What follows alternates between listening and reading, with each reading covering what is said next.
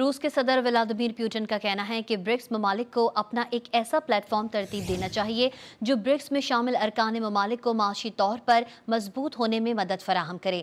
उन्होंने मजीद कहा कि इस प्लेटफॉर्म का मकसद ब्रिक्स में शामिल ममालिक में सरमायाकारी बढ़ाना, बड़े इंफ्रास्ट्रक्चर और टेक्नोलॉजी में सरमायाकारी करना है। उनका मजीद क्या कहना था कि नई बैन अवी राहदारियों का बनना अहम है? एक ऐसे प्लेटफॉर्म की ज़रूरत है जो किसी भी पाबंदी का शिकार ना हो और एक मुतबादल और फाल मालियाती निज़ाम के तौर पर ब्रिक्स में शामिल ममालिक को मज़बूत कर सके।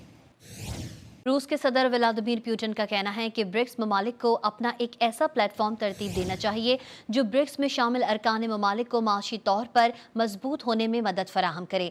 उन्होंने मजीद कहा कि इस प्लेटफॉर्म का मकसद ब्रिक्स में शामिल ममालिक में सरमाकारी बढ़ाना, बड़े इंफ्रास्ट्रक्चर और टेक्नोलॉजी में सरमाकारी करना है। उनका मजीद क्या कहना था कि नई बैन अवी राहदारियों का बनना अहम है? एक ऐसे प्लेटफॉर्म की ज़रूरत है जो किसी भी पाबंदी का शिकार ना हो और एक मुतबादल और फाल मालियाती निज़ाम के तौर पर ब्रिक्स में शामिल ममालिक को मज़बूत कर सके।